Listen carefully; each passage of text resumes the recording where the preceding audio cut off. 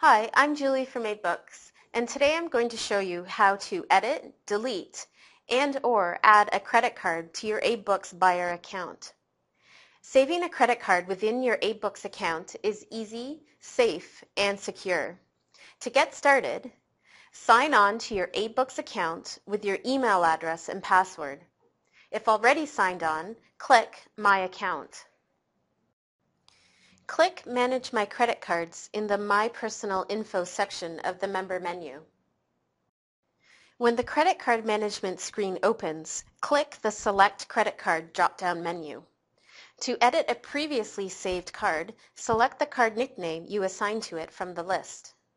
If you select a previously saved card, the last four digits of the card number, all other card details, and the billing address will be displayed. You can edit any field except the card number and the cardholder name. To edit any other field, enter your changes and click the Save Changes button. If you need to edit either the card number or the cardholder name, click the Delete Card button and re-add the card as new. A blank credit card management screen will open. To add a new card, select Add New and the type of card you want to save.